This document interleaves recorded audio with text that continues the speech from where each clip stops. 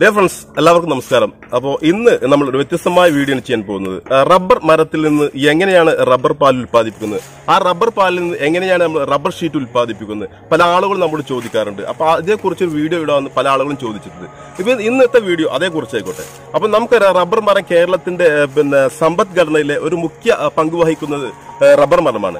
അപ്പോൾ കേരളത്തിൽ ഏകദേശം നമുക്കറിയാം ഒരു മൂന്ന് ലക്ഷത്തോളം ആളുകൾ ഇതെടുത്ത് തൊഴിലെടുത്ത് ജീവിക്കുന്ന ഒരു മേഖല കൂടിയാണ് റബ്ബർ. അതുപോലെ തന്നെ ഒരുപാട് കർഷകരുള്ള ഒരു നാട് കൂടിയാണ് കേരളം. അതുപോലെ തന്നെ നമ്മുടെ ഇന്ത്യയിൽ ഏറ്റവും കൂടുതൽ റബ്ബർ ഉൽപ്പാദിപ്പിക്കുന്ന നാട് കൂടിയായ കേരളമാണ്. നമുക്കറിയാം റബ്ബർ നമ്മുടെ കേരളത്തിലേക്ക് വന്നത് ബ്രസീലിൽ നിന്നാണ്. അത് കോട്ടയം വഴി വന്ന് മറ്റു കേരളത്തിന്റെ വിവിധ ഭാഗങ്ങളിലേക്കാണ് അത് ഒഴുകിയെത്തിയത്. ഏകദേശം രണ്ടായിരത്തിൽ പരം പ്രോഡക്റ്റുകളാണ് ഈ റബ്ബർ ലാക്ടക്സ് കൊണ്ട് ഉൽപ്പാദിപ്പിക്കുന്നത്. എന്തായാലും നമ്മൾ ഈ റബ്ബർ മരത്തിൽ നിന്ന് എങ്ങനെയാണ് ഈ ലാക്ടക്സ് കളക്ട് ചെയ്യുന്നത് എന്ന വീഡിയോ നമുക്ക് കാണാം. അപ്പൊ നമ്മൾ ഇനി റബ്ബർ ടാപ്പ് ചെയ്യുന്ന രീതിയാണ് കാണാൻ പോകുന്നത്. ഇപ്പൊ നമ്മൾ ഈ കാണുന്ന ഈ മരം ഏകദേശം ഒരു പത്ത് വർഷത്തോളം പ്രായമായ മരമാണ്. അപ്പൊ നമുക്ക് എങ്ങനെയാണ് ഇത് ടാപ്പ് ചെയ്യുന്നത് കാണാം. ആദ്യം നമ്മൾ ഇതുപോലുള്ള അതിന്റെ മുകളിലുള്ള ഒരു പൊട്ടുപാലുണ്ട് അത് വലിച്ചെടുത്തതിന് ശേഷം ഒന്ന് ബാക്കോട്ട് കുത്തിയതിനു ശേഷം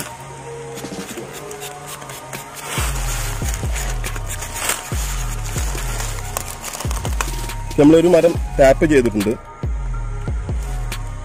കണ്ടോ ചിരട്ട ഇതുപോലെ ചിരട്ട വെക്കണം നമ്മൾ ആ ചിരട്ട കപ്പിനകത്താണ് ഇപ്പോൾ പാൽ ചാടുന്നത്. സാധാരണ ഗതിയിൽ മലയാളീസുകളെ കൂടുതലായിട്ട് ഉപയോഗിക്കുന്ന കത്തിയാണ് ഈ ടാപ്പിംഗ് കത്തിയാണ് ഈ കാണുന്നത്. രണ്ട് ഭാഗം കോണോട് കൂടിയിട്ടുള്ള ഒരു കത്തിയാണ്. സാധാരണ വ്യത്യസ്ത ഇനങ്ങളുള്ള കത്തിയുണ്ട്. ജംബോ കത്തിയുണ്ട് അതുപോലെ ചൈനീസ് ഇലക്ട്രിക് കത്തിയുണ്ട്. അപ്പൊ നമ്മൾ നമ്മൾ ഉപയോഗിക്കുന്ന കത്തി ഇപ്പൊ ഇതാണ്. ഇതുകൊണ്ട് എങ്ങനെയാണ് ടാപ്പ് ചെയ്യുന്നത് കാണാം.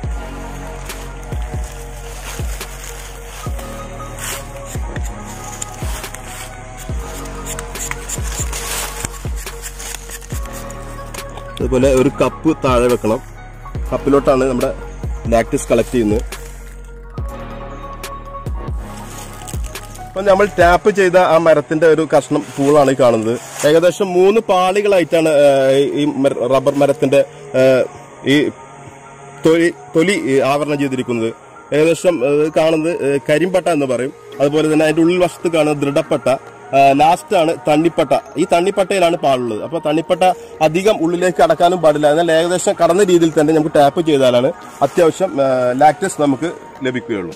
അപ്പൊ നമ്മൾ റബ്ബർ ടാപ്പ് ചെയ്തു. ടാപ്പ് ചെയ്ത റബ്ബർ ഏകദേശം നമുക്ക് ഒരു മണിക്കൂർ ഏകദേശം ഒരു ഒന്നര മണിക്കൂർ കഴിഞ്ഞ ശേഷം നമുക്ക് ആ ലാക്ടസ് കളക്ട് ചെയ്യാം. അതിനുശേഷം അതിനുശേഷമാണ് നമ്മൾ അതിനകത്ത് മറ്റുള്ള ഷെഡ് റൂമിലേക്ക് കൊണ്ടുപോയിട്ട് റബ്ബർ ഷീറ്റാക്കി മാറ്റുന്നത്.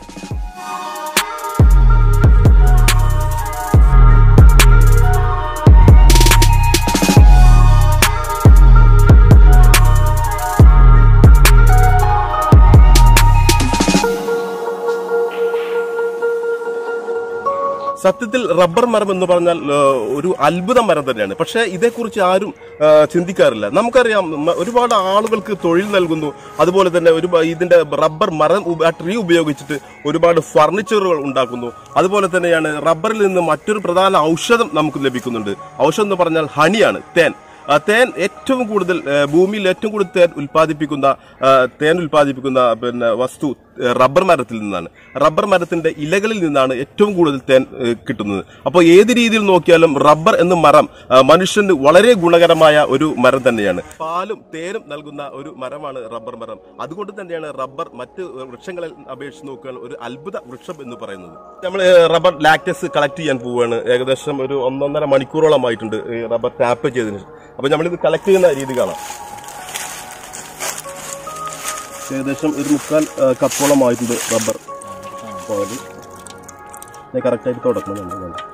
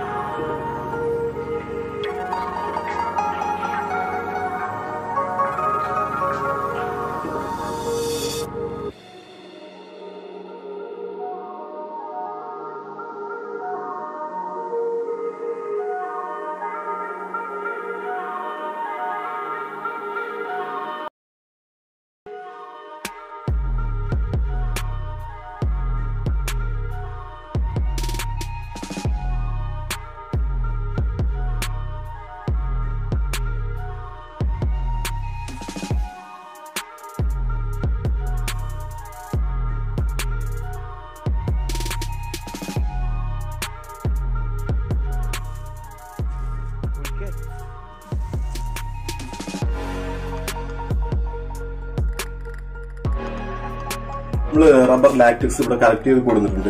അപ്പൊ ഇത് ഇനി നമ്മൾ ആദ്യമായിട്ട് ഇത് ഒരു അരിപ്പ ഉപയോഗിച്ച് ഇതുപോലുള്ള ഒരു അരിപ്പ വെച്ചിട്ട് ഈ റബ്ബർ പാൽ നമ്മൾ അരിച്ചെടുക്കണം.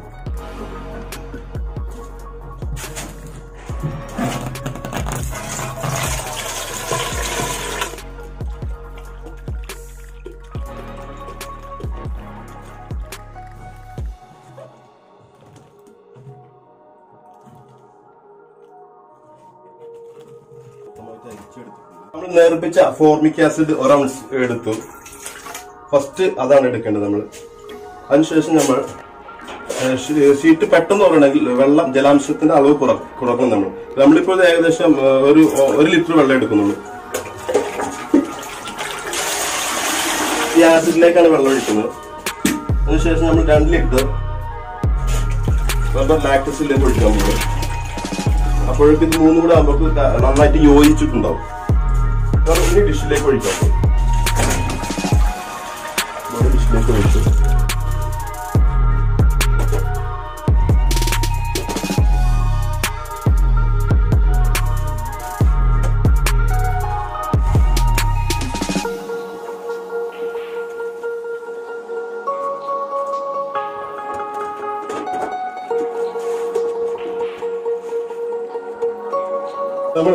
ഈ റബർ ലാക്ടിക്സ് എഡിഷനകത്ത് ഒഴിച്ചു വെച്ചിട്ടുണ്ട്. ഇനി ഏകദേശം നമുക്ക് ഒരു ഒരു മണിക്കൂർ കഴിയുമ്പോൾ ഇത് ഷീറ്റാക്കി മാറ്റാം. അപ്പൊ ഏകദേശം ഒരു മണിക്കൂർ കഴിയട്ടെ. ഇപ്പൊ ഏകദേശം ഒരു മണിക്കൂറോളമായി നമ്മൾ ഈ പാൽ ഇതുപോലെ കൂട്ടി വെച്ചിരുന്ന ഒരു മണിക്കൂറായി. അപ്പൊ ഇത് ഏകദേശം ഷീറ്റ് ഇപ്പൊ ഉറച്ചിട്ടുണ്ട്. അപ്പൊ നമുക്കിത് മെഷീനിലേക്ക് ഇട്ട് എങ്ങനെ ഷീറ്റ് അടിക്കുന്നത് കാണാം.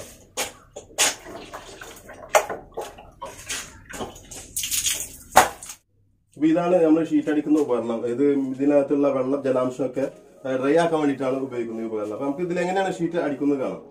നമ്മൾ ആദ്യം ഇത് അഡ്ജസ്റ്റ് ചെയ്യണം. അഡ്ജസ്റ്റ് ചെയ്യുന്ന ഉപകരണം എവിടെയാണ് അഡ്ജസ്റ്റ് ചെയ്യുക ഷീറ്റിന്റെ നമ്മൾ ഏകദേശം ഈ ഇതിലുള്ള പാ ഇത് കിടക്കാൻ പാകത്തിന് നമ്മൾ ഇത് അഡ്ജസ്റ്റ് ചെയ്യാം.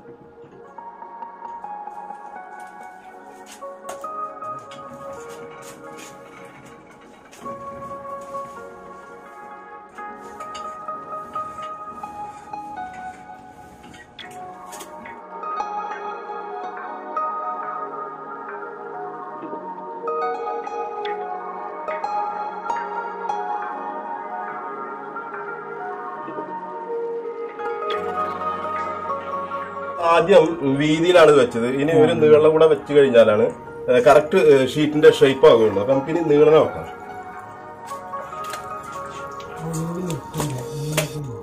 അപ്പൊ നമ്മൾ നീളം നോക്കുമ്പോ മെഷീൻ ഒന്നും കൂടെ താഴോട്ട് കൊണ്ടുവരണം. റോൾ ഏകദേശം അഡ്ജസ്റ്റ് ചെയ്തതിനു ശേഷം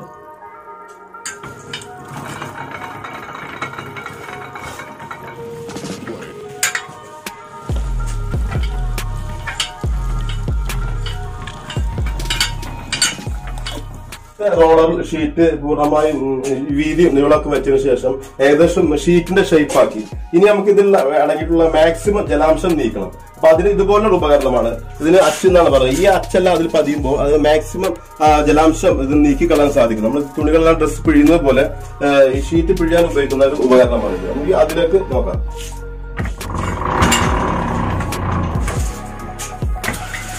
ഇപ്പൊ നമുക്ക് കാണാം ഇതിനകത്തുള്ള ജലാംശം താഴേക്ക് പോകുന്നത്. നമ്മുടെ കരിമ്പ കാട്ടുന്ന പോലത്തെ മെഷീനാണ്.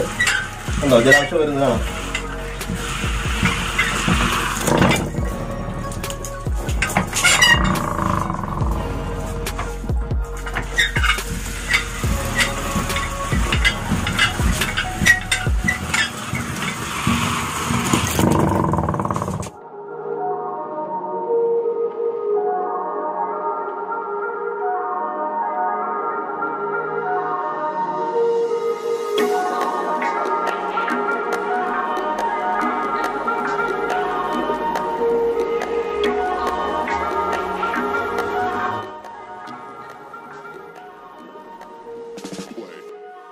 നമ്മുടെ റബ്ബർ പാൽ സംസ്കരണം കഴിഞ്ഞു. ഇപ്പൊ ഏകദേശം സംസ്കരിച്ചു.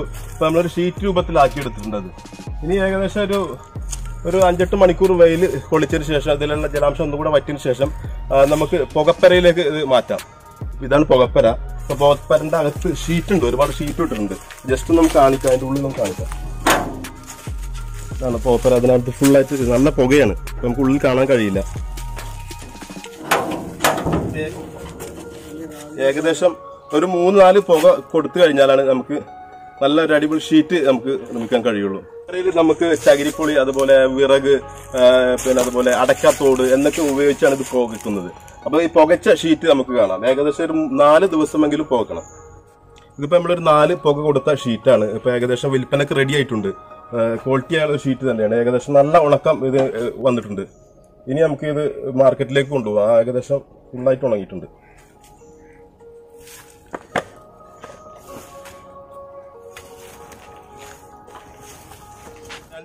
പാൽ കൊണ്ടാണ് ഈ രീതിയിലുള്ള ഒരു ഷീറ്റ് നമ്മൾ നിർമ്മിച്ചെടുക്കുന്നത് ഏകദേശം ഇപ്പോൾ ഇതൊരു എഴുന്നൂറ് അറുന്നൂറ്റമ്പത് ഗ്രാമോളം തൂക്കം ഉണ്ടാവും. അപ്പോൾ ഏകദേശം നന്നായിട്ട് ഉണങ്ങിയിട്ട് ഇനി ഇതുപോലെ നമുക്ക് വീട്ടിനകത്ത് കൊണ്ടുപോയിട്ട് അട്ടിയിട്ട് വെക്കാം. പിന്നെ നമുക്ക് കാശിന്റെ ആവശ്യമുള്ള സമയത്ത് ഇതുകൊണ്ട് വിൽപ്പന നടത്താം. ഏഹ്, പൂക്കുന്നത് ശ്രദ്ധിക്കണം നമ്മൾ. ജലാംശം ഈർപ്പമൊക്കെ ഉള്ള റൂമിൽ വെക്കുന്നത് ശ്രദ്ധിക്കണം. അല്ലെങ്കിൽ എത്ര ഒരു ഒരു വർഷത്തോളം അങ്ങനെ കേടുകൂടാതെ ഇരിക്കുന്നതാണ്.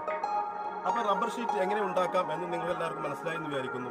ഇനി വ്യത്യസ്തമായ മറ്റൊരു പുത്തൻ വീഡിയോ കണ്ടുമുട്ടുന്നവരെല്ലാം